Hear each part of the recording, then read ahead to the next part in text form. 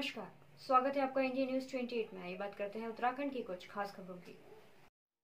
उत्तराखंड के सितारगंज में कोविड 19 के बचाव को लेकर नगर पालिका गंभीर, जहाँ एक और पूरा देश कोरोना जैसी महामारी से जूझ रहा है। सितारगंज नगर पालिका सभासदों के द्वारा कोरोना वायरस के प्रकोप से बचने के लिए नगर के एक से तेरह वार्डों तक मुख्य साफ़ सफ़ाई के साथ ही किया जा रहा है सैनिटाइज जिसके लिए नगर पालिका सितारगंज के सफ़ाई कर्मचारी भी दुगनी मेहनत कर रहे हैं।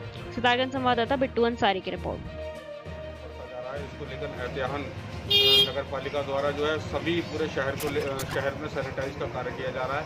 जैसा कि आप देख रहे हैं हमारे साथ जो है बिन्नू भाई भी हैं, नायक हमारे धर्मवीर जी भी हैं तो ये लगातार सभी वार्डों में जा जाकर सैनिटाइज कर रहे हैं। लगातार नगर पालिका जो है, इसको लेकर गंभीर है और जगह जगह जाकर सैनिटाइज करा रही है। नंबर एक से लेकर पूरे शहर में, वार्ड में जो है नगर पालिका के अंदर तेरह वार्ड हैं।